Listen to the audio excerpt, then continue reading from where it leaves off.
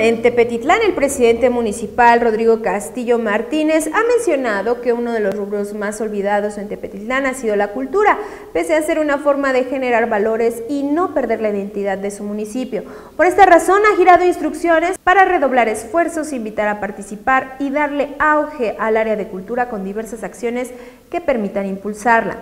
En un comunicado informó que entre otros trabajos que se han desarrollado en estos días en el municipio de Tepetitlán, iniciaron los grupos de ballet y preballet para niños y niñas. Además, jóvenes y adultos se han integrado a grupos de danza donde incluso habrá espacios para que adultos mayores se integren a clases de danzón y presencien eventos, desfiles y más, dándoles el lugar que merecen y la importancia que tienen el gobierno que encabeza Castillo Martínez. Y hace una cordial invitación a toda la población para acercarse a la presidencia municipal a inscribirse a los programas y actividades que el área de cultura ofrece.